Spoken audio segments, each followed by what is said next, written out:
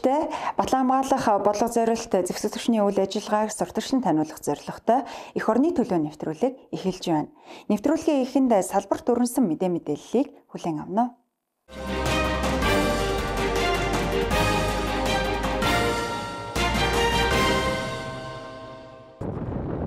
Монгол улсын зэвсэгтүүд бүгд найрамдах хятадд улсын ардын чөлөөлөх армийн хуурай замын зэргийн хамтарсан талын түнш 2024 хээрийн сургууль амжилттай явагдаж өндөрлөлөө. Сургуулийн төгсгөлд нэгдсэн буудлага хаалтын эслэлийн ажиллагааг зохион байгууллаа. Уг ёслолд улсын хурал засгийн газар, хоёр талын батлан хамгаалах салбарт зэвсэг төрчний удирдлагууд оролцлоо. Ёслолын ажиллагаа талын түнш 2024 хээрийн сургуулийн Монголын талын удирдагч хурандаа буян дэлгэр бүгд найрамдах татар дуулсын талын удирдагч хошууч генерал Ванзи Чан нарын илтгэлээр эхэлж хоёр талын хүнд зочид энэхүү сургуулийн онцлог ашиг бүгдд үр дүнгийн талаар үгэллээ.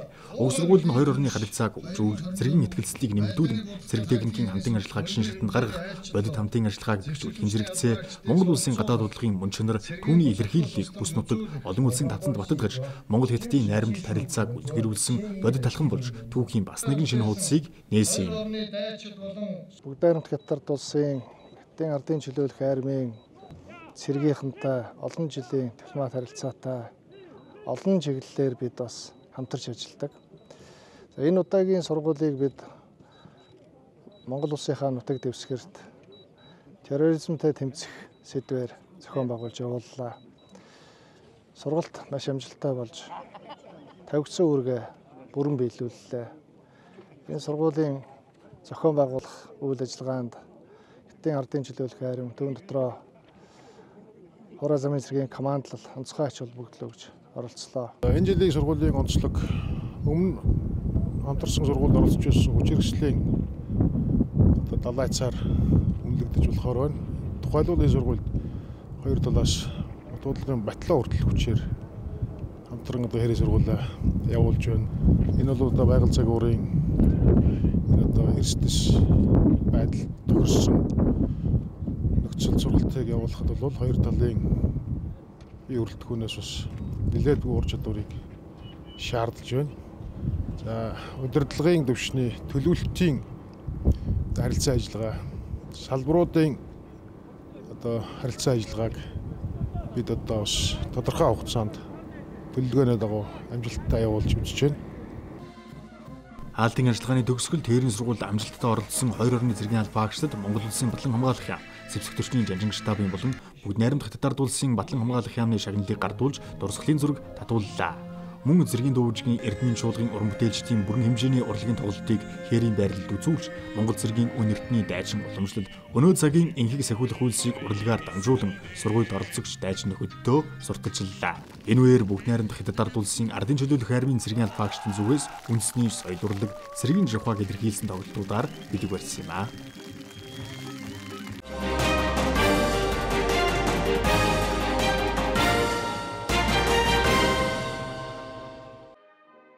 Монгол Япон улсын хоорондоо дипломат харилцаа тогтоосны 52 жилийн энэ онд тохиож байна. Өнгөрөх хагас 100 жилийн хугацаанд хоёр орны засгийн газар тэр дундаа бол хамгаалах салбар хоорондох хамтын ажиллагаа улам бүр өргөцсөр ирсэн юм а. 2012 оноос хоёр улсын цэргийн төв эмнэлгүүд хамтын ажиллагаагаа эрчимжүүлж дадлага туршлах хуваалцах үйл ажиллагааг тогтмол зохион байгуулж байна. Үүний үргэлжлэл болж энэ удаад хоёр орны цэргийн төв эмнэлгүүдийн хамтарсан сургалт дадлага олныг хамарсан газар хөдлөлтийн гамшиг ослын үед эмнэлгийн яралтай тусламжийн чадварыг бэхжүүлэх сэдвийн хүрээнд зохион байгуулагдлаа. Энэ сургуульд Япон улсаас 20 гаруй хүний бүрэлдэхүүнтэй өргөн хамгаалах хүчний эмнэлгийн удирдлага мэрэгжлийн бүрэлдэхүүн хүрж ирж оролцож байна. За Япон улс бол газар хөдлөлт гамшигтай холбоотой эрсдлийнхаа одоо давтамжаар маш өндөр туршлагач маш өндөртэй дэлхийн олон улс орнуудад энэ сургалт даалгыг зохион байгуулдаг юм онцлогтой. Монгол улсын хувьд хоёр улсын зэвсгэрчин хооронд дипломат харилцааны тусгай түншлэлийн том хөтөлбөрийн хүрээнд харилцаа холбоогоо нэлээд бэхжүүлж явж байна. Энэ цэргийн эмнэлэг хоорондын харилцаа бол хэрэгдэвтэй. Ялангуяа Монгол улсын цэргийн төв эмнэлгийн эмч эмнэлгийн мэрэгжилтэн за баг том мэрэгжилтнүүдийн ур чадвар ажлын бүтээмжийг нэмэгдүүлэх, мэрэгшүүлэх тал дээр ялангуяа энэ одоо гамшиг ослын үед тэр сумаа газар хөдлөлтийн үед манай цэргийн эмч мэрэгжлийн бүрэлдэхүүн юу хийх вэ? Ямар арга хэмжээг авах вэ? Хичнээн үе шатанд одоо хамтарч ажиллах вэ гэдэг тал дээр яаралтай тусламжийг үзүүлэх талаар одоо мэрэгжлийн төвшингийн одоо сургалт болноо. За энэ арга хэмжээнд Японы батлан хамгаалахын одоо яам Монгол улс суугаа элчин сайдын яам, элчин сайд Игавахара Масару одоо сонцгой ач холбогдол өгч байгаа. Тийм учраас энэ бол бидний мэрэгжлийн цэргийн бий бүртгэгчнээ чадахжуулах эмнэлгийн баг мэрэгчлэнүүдэд мэрэгшүүлэхэд онцгой ач холбогдолтой юм сургалт боллоо. 当然ながら、えー、防衛交流のこの Япон Монголын харилцаа нь 1990-ад оноос хойш эрчимтэй хөгжиж байна.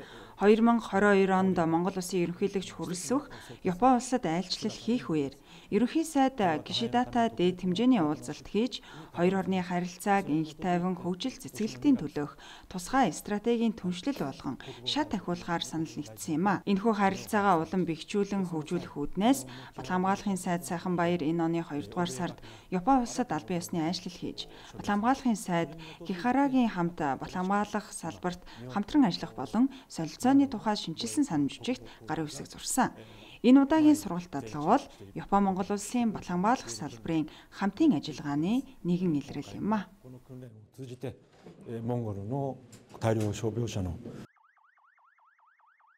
Энэхүү дадлаг сургалт нь Монгол улсад газар хөдлөлт болон олныг хамарсан гамшиг осол тохиолдох үед цэргийн төв эмнэлгийн бэлэн байдал, төрийн цэргийн болон хууль сахиулах байгууллага хоорондын харилцан ажиллагааг хангах, цаашлаад хоёр улсын алба хаагчид харилцан туршлага солилцох ач холбогдолтой юм а. Сургалт дадлагад цэргийн төв эмнэлгийн ажилтан алба хаагчид, зэвсэг түвшний анги байгууллагын эмч нар, онцгой байдал шүүхэн шийдвэр гүйцэтгэх ерөнхий газар болон Баянзүрх дүүргийн эрүүл мэндийн төвийн эмч нар хамрагдсан юм а. Сургалтын агуулгын хувьд бол бид нар энэ бодит цагийн байдлаас өөр хийсвэр цагийн байдал дээр газар хөдлөлтийн зохион байгуулж байгаа кейс хийж явж байгаа. Тэгээ энэ бид нар 60 гаруй өвчтөн хүлээж авахар ингээд зохион байгуулалт хийж байгаа. Цэргийн төвөмлөг энэ гамшигын үеийн байдал шилжиж улаан ногоон шар бүсүүдийг одоо зохион байгуулж үүсгэж энэ дээр бол томилгот бүрэлдэхүүнүүд нь томилогдож тэгээд энэ томдгоод бүрэлдэхүүнүүдийг ганц удирдах байгаа одоо удирдлагын бүрэлдэхүүнүүдийн хурлаар одоо эхэлж тэгээд дадлагаар дуусгаж байгаагаар юм онцлогтой цэргийн төмөлөг түүхэндээ анх удаа гамшиг ослын үед эмнэлгийн яаралтай тусламжийг чадахжуулж бэхжүүлэхийн сургалтыг зохион байгуулж байгаагаар бол одоо маш онцлогтой давуу талтай байна. 訓練モンゴルと日本の訓練は Япон улсын тухайд гамшигын үед хэрхэн арга хэмжээ авах вэ? Иргэдэд ямар тусламж үзүүлэх талаар туршлагатай. Сүүлийн жилүүдэд манай улсад хид хідэн томоохон газар хөдлөлт гамшиг тохиолдоход бид нар өөрийн биеэр мэдэрсэн. Тэр үед цэргийн эмнэлэг онцгой байр суурьтай оролцсон учраас Монгол Японы цэргийн төв эмнэлгүүд хамтран энэхүү төслийг хэрэгжүүлж байна. Энэ маш өндөр ач холбогдолтой сургалт тадлага юм. Өнөөдрийн үйл ажиллагааг өндөр түвшинд зохион байгуулж амжилттай болсонд чин сэтгэлээсээ талархаж байгаагаа илэрхийлье.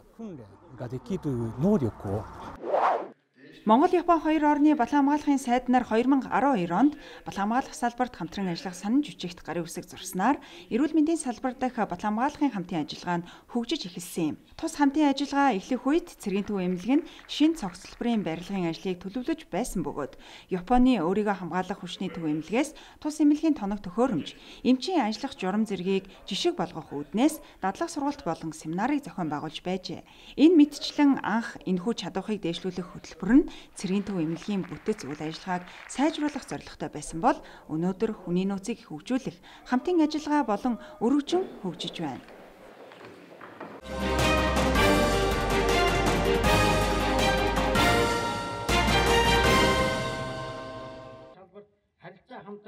Монгол улсын зэвсэгтүүчин Япон улсын өөрийн хамгаалах хүчний цэргийн инженерүүдийн хамтарсан зам 2024 сургалт дадлагын нээлт Булган аймгийн Гялган тосгон зэвсэгтүүчний 234 дугаар ангийн байрлалд зохион байгуулагдлаа.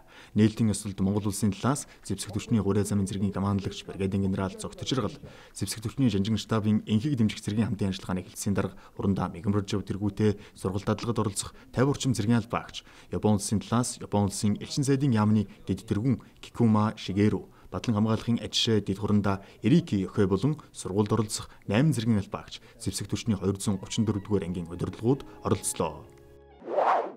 Хоёр улсын Батлан хамгаалах салбарын хамтын ажиллагааны олонт амжилтыг баттгаж харилцан ажиллагааг улам гүнзгийрүүж хамтын ажиллагааг бэлчүүлэхэд хоёр талд нэг таамдран ажиллана гэдэгт итгэлтэй байна. Өмнөх жилүүдийн зам сургалт дадлагад оролцсон Монгол улсын зэвсэгтөрчний инженерийн мэрэгжлийн офицер ахлагч нар асфальтын хүчилтаа авд зам, ус зайлуулах хоолойн зураг төслийг боловсруулах, замын хэвтэй болон дагуу үндэсгийн хэмжилт хийх, ажлын зураг боловсруулах, зургийн дагуу зам барилгын ажлыг гүйцэтгэх ур чадвар эзэмшиж, энэ хугацаанд цэргийн инженерийн салбар бие дааж авд зам барих чадамжтай болсон. Энэ жилийн тухайд тус сургууль нь 10 дахь жилдээ зохион байгуулагдаж байгаа бөгөөд өмнөх жилүүдийнхээ сургалтаа баттгах, сургалтын агуулгыг нэгдсэн хэлбэрээр зохион байгуулж байгаагаараа онцлог байна мөн Япон улсын засгийн газар Монгол улсын зэвсэгтүүчин нэгдсэн үндэсний байгууллагын энхийг сахиулах ажиллагаанд инженерийн род оролцуулах зорилтыг дэмжих зорилгоор энэ хөтөлбөрийг хэрэгжүүлж байгаа юм. Өнгөрсөн 10 жилийн хугацаанд манай талаас зам сургалтад 500 гаруй инженер техникийн офицер ахлагч нар оролцож мэрэгжлийн ур чадвар дадлаг туршлагаа нэмэгдүүлсэн байна. Зам 2024 сургалт дадлаг 3-7 хоногийн турш үргэлжилнэ.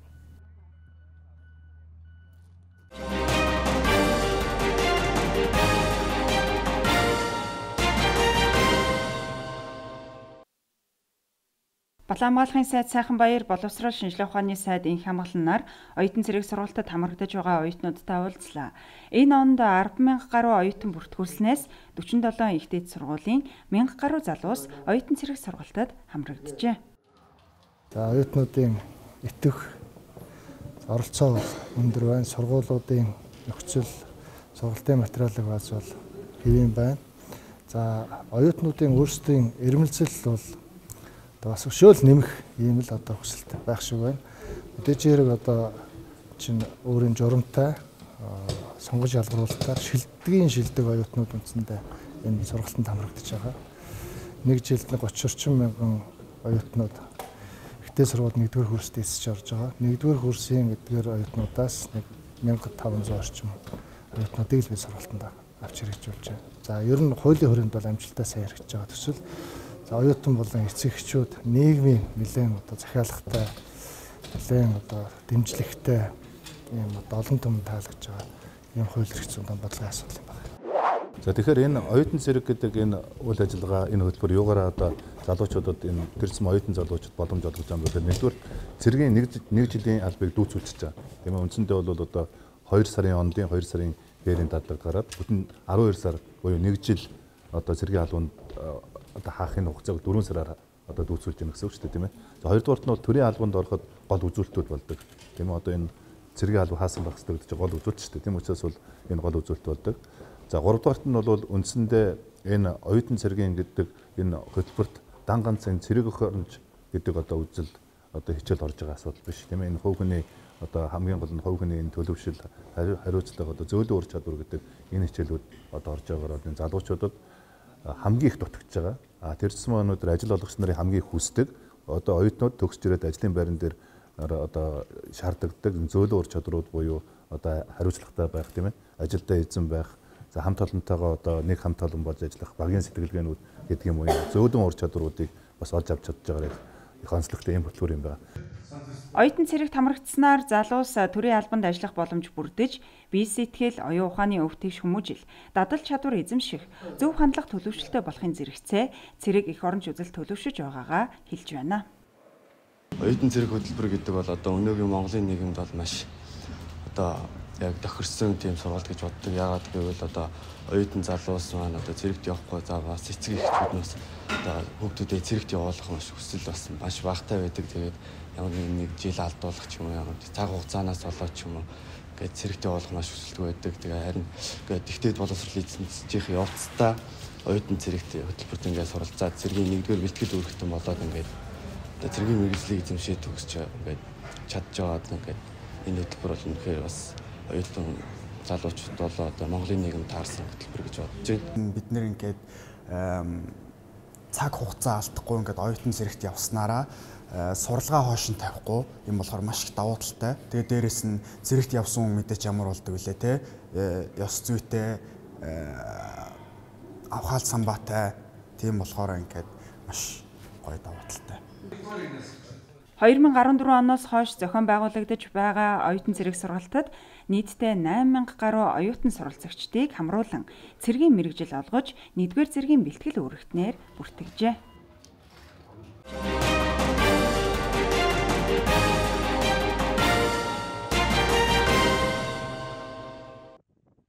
Цэргийн албаагчдын мэрэгжлийн ур чадвар төсвөр хатуужил хурд хүч ахвал самбааг сордог зэвсэг төвчний олимп буюу марш тактик тусгай бэлтгэлийн цогцлбор тэмцээн зэвсэг төвчний сургалтын нэгдсэн төвд 5 дугаар сарын 15-наас 22-ны өдрүүдэд зохион байгуулагдаж шилдэгүүдэд тодруулсан юм а. Тэмцээнд зэвсэг төвчний 40 гаруй нэгтгэл анги байгууллагын 2000 гаруй тамирчид ур чадвар хурд хүч ахвал самбаа төсвөр хатуужлаас орон өрсөлдлөө. Энэ жилийн тэмцээнд барилга инженерийн цэргийн удирдаг газраас цэргийн мэрэгжлийн авраг зэвсэг төвчний 232 242 дугаар ангиас эмэгтэй тасаг 342 дугаар ангиас хугацаа цэргийн албаагчдын салаа анх удаа оролцсон нь онцлог байлаа.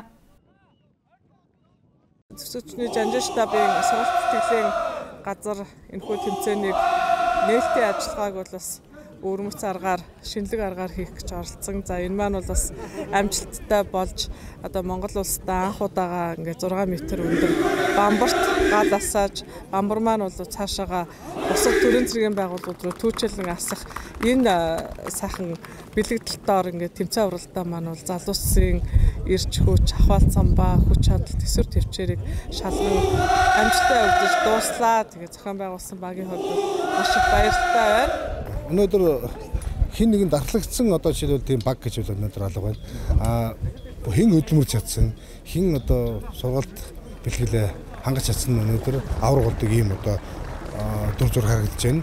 Тусгай хүчний ангиуд бол арга байхгүй одоо жилийн дөрөв өдөрт сургалт одоо өндөр байдаг учраас саяын одоо эрэгтэйчүүдийн маршнд тэргүүлсэн ч гэсэн за эмэгтэйчүүдийн одоо маршд бол одоо агарын сэргийн хамгааллаас за ерөнхий сэргийн ангиудаас за сургуулийн одоо охтууд гэдэг ингээд ярихад бол одоо хин өнөөдөр хөдөлмөр чадж байгаа нь л одоо өнөөдөр амжилт гаргадаг болсон нь бол магадгүй цэргийн албан хаагчтай маань өөрсдийнх нь ур чадвар үнэхээр өндөр жиг төгсөж байгааг шинжиж багш нь харж байгаа. Тэмцээний ерөнхий шүүгчээр зэвсэг төвчний жанжин штабын сургалт бэлтгэлийн газрын дарга бригадын генерал Болор, нарийн бичгийн дараагаар зэвсэг төвчний жанжин штабын сургалт бэлтгэлийн газрын биеийн тамир спортын тасгийн дарга Дэт хурандаа мөнх түшигнаар ажиллалаа. Би одоо зэвсэг төвчний марш тактикийн тэмцээнд 2017 оноос хойш оролцож байгаа. Тэгээд өмнө ахлагч байж хугацаанд тасагт явж байсан. Энэ жил бол нөгөө тасаг авч явсан учраас бас амар үүрэг хариуцлага ихтэй байлаа. Тэгээд анхны ингээ нөгөө сонсогч нартаа баг бүрдүүлж орж байгаа болохоор энэ жил бас нилээдгүй амжилтыг бас хүлээж хүсэж нэлээд сайн бэлдсэн, нэлээд удаан хугацааны бэлтгэл хийж иж энэ амжилтанд хүрлээ. Энэ жилийн тэмцээний онцлог шинж чанарнд маш их байлаа өөрөө тасгийн захирагчаар явж байгаа. Дээрээс нь ингээд хүүхдүүдээ баг бүрдүүлээд орж байгаа. Бид бүхний амжилт. Тэгээд бүх хүмүүс л бэлтгэл хийж оролцож байгаа. Гагцгүй бид нар нөгөө эв санаа эв нэгдэлтэй тэгээд нэг санаатай байснаар энд амжилтанд хүрч чадлаа гэж би дүгнж байгаа. Тэгэхээр маш тэмцээнд 4 жилдээ оролцож байна. За өмнө урсан жилийн марш тэмцээнд мөн аль зэрэгсэлтэй ахалж ирээд аа бас армийн аргаас мөнгө медаль Монгол сэргэлжийн марс хөрөнгө хүртэжсэн. Энэ жил дагаа нэг гэж бас мөнгө мэдээлэл хүртлээ. Сэтэл өндөр байна. За энэ жилийн марш тэмцээн ерөн өрсөлдөөнтөө цэрэг сланууд их чанга бие биетэйгээр нь сайхан өрсөлдсөн том тэмцээн болж өндөрлөө. Манай ингээ маш их хос алттай, хоёр алттай. Тэгээд энэ жил аварга хамгаална гэдээ орж ирсэн. Тэгээд хамгаалж чадлаа. Нийлэн хөдөлмөрсөн бид нэр 12 сараас хойш бэлдсэн тэмцээнд Маршин зам бол эр хүний тулаад үзэх зам шүү. Зэвсэг төвчний марш тусгай бэлтгэлийн цогцбор тэмцээн нь бие бүрэлдэхүүний нэгдмэл ажиллагаа албаагчдын бие байлдар сэтгэл зүйн бэлтгэл цэргийн мэрэгжлийн ур чадварыг дээшлүүлэн үүрэг гүйцэтгэх чадварыг нэмэгдүүлэх үндсэн зорилготойгоор жил бүр зохион байгуулагддаг юм а. Алба хаагчид сургуулийн жилийн туршид цэргийн сургалт бэлтгэл хэрхэн явагдаж байгааг үнэлэх бодит шалгуур шудраг өрсөлдөөн байдгаараа өндөр ач холбогдолтой юм а. 2023. Wysokości Zoom Telfaring.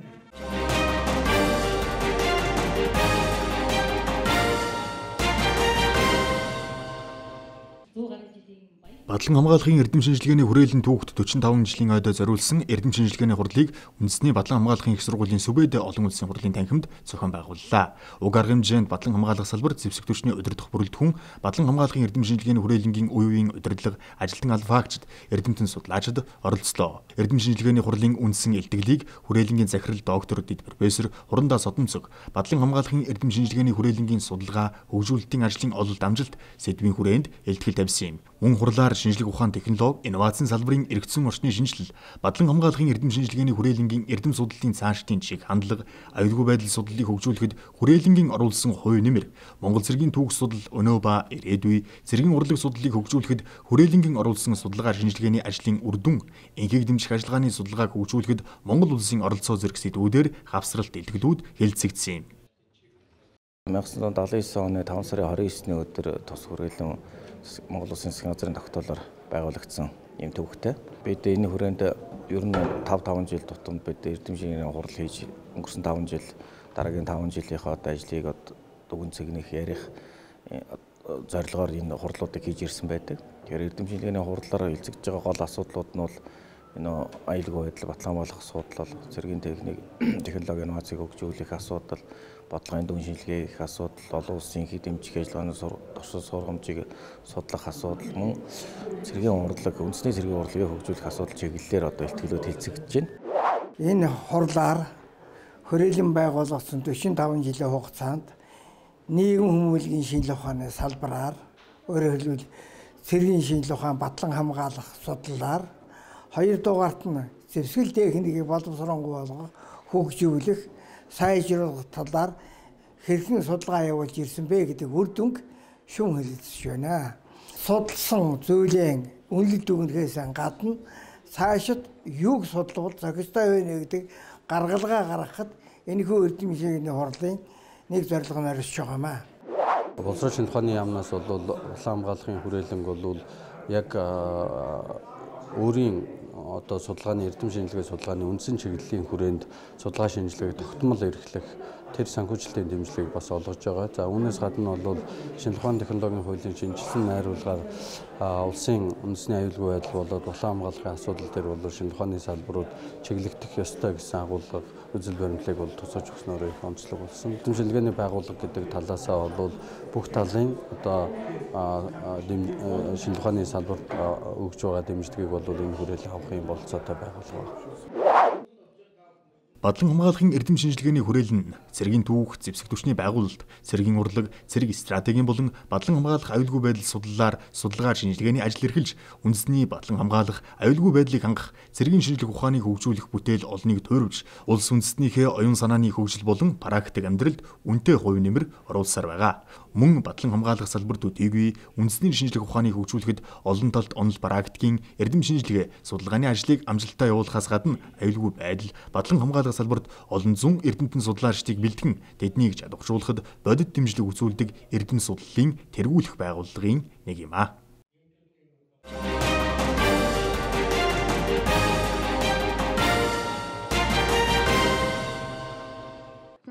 Олон улсын музейн зөвлөл 1946 онд байгуулагдсан бөгөөд 138 орны 45413 гишүүн 118 үндэсний хороотоогоор үйл ажиллагаагаа явуулж байна. Монгол улс олон улсын музейн зөвлөлд 2003 онд элсэн оржээ. 1977 оны 5 дугаар сарын 18-ны өдрөөс эхлэн дэлхийд дахина олон улсын музейн өдрийг уламжлал болгон тэмдэглэн өнгөрүүлдэг юм а.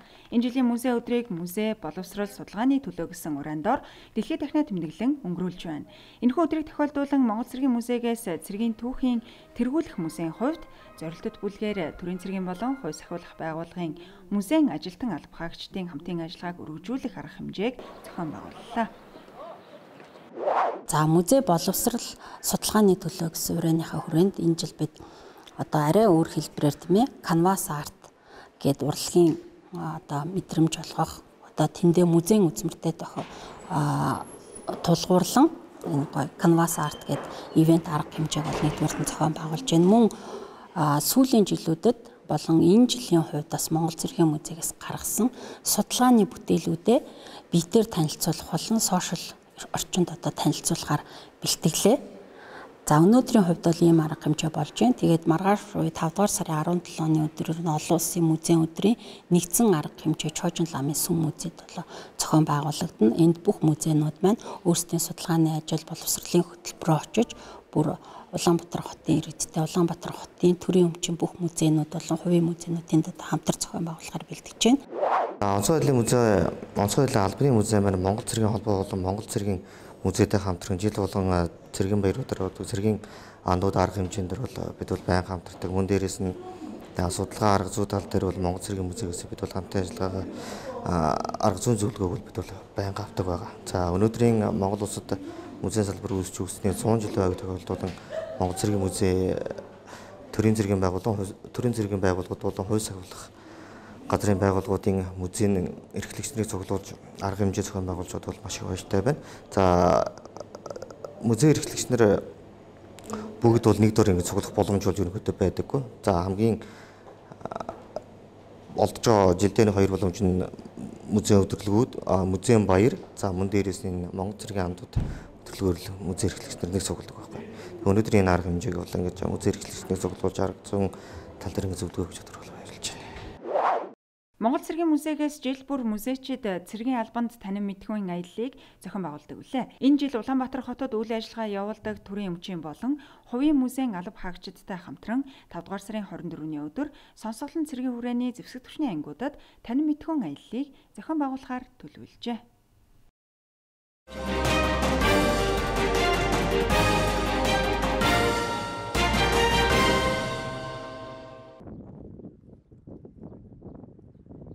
Зэвсэг түвшний жанжин штабын даргын 2024 оны А дроп 287 дугаар тушаалын дагуу зэвсэг түвшний удирдлагын байгууллага нэгтгэл анги салбарууд зэвсэг түвшний ангиудын харьяа мод үржүүлэг агро экологийн сургалтын төв олон нийтийн цэцэрлэгт хүрээлэнгүүд болон тус тусын байрлалд мод тарих өдөрлөгийг зохион байгууллаа.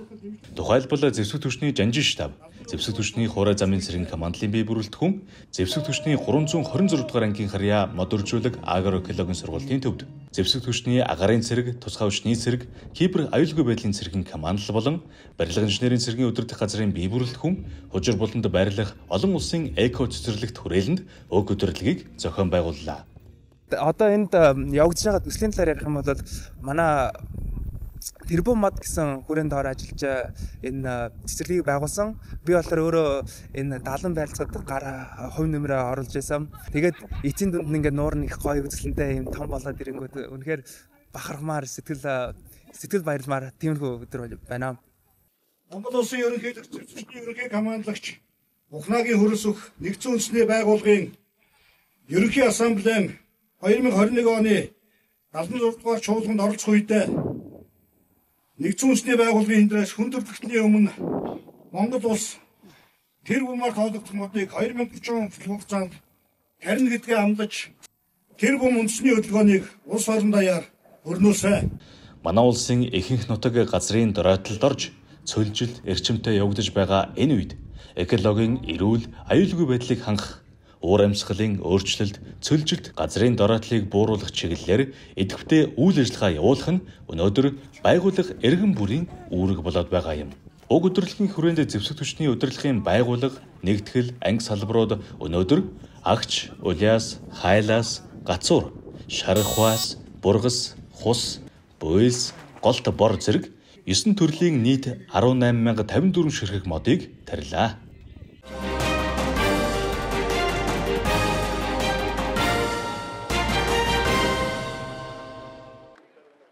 Монгол Улсын ерөнхийлөгчийн санаачилсан хүнсний хангамж аюулгүй байдал эрүүл Монгол хүн үндэсний хөдөлгөөний хүрээнд Монгол Цэргийн нэгдсэн холбоо хүнс хөдөө аж ахуй хөнгөн үйлдвэрлэлийн яам хамтран хаврын тариалалт 2024 сургалт арга хэмжээг зохион байгууллаа. Энэхүү арга хэмжээний зорилго нь төрийн цэргийн болон хувь сахиулах байгууллагуудаас тэтгэвэр чөлөөнд гарсан ахмад ажилтнуудын өрхийн орлогыг нэмэгдүүлэх, тэдний өрхийн хэрэгцээг нь хангах боломжийг бүрдүүлж байгаа юм а. Сургалтад хамрагдсан 50 гаруй ахмадуудад 9 төрлийн хүнсний ногооны өрийг өгсөн юм. Дөрөвт удаага зохион байгуулагдсан энэхүү арга хэмжээнд нийтдээ 200 гаруй ахмадууд хамрагдаж 280 өрх өөрийн хэрэгцээд хүнсний ногоогоо тариалж өрхийн хэрэгцээгээ хангажээ. Тухайлбал өнгөрсөн намрын ургац хураалтаар 50 ахмадууд 10 төрлийн хүнсний ногоо хуран авчээ.